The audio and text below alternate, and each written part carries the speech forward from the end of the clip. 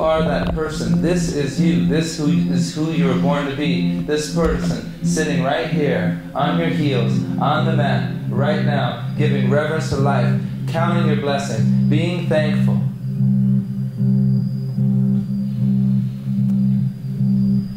Not just that badass that can get up the mountain and back. Not just that dude that can get things done. You are so much more than that.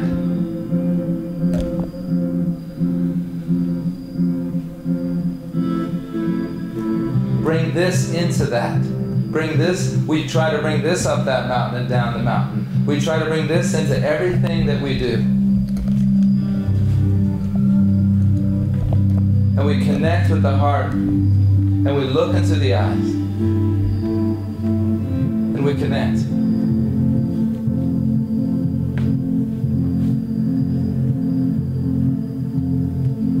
We do that with ourselves. And that's where it starts.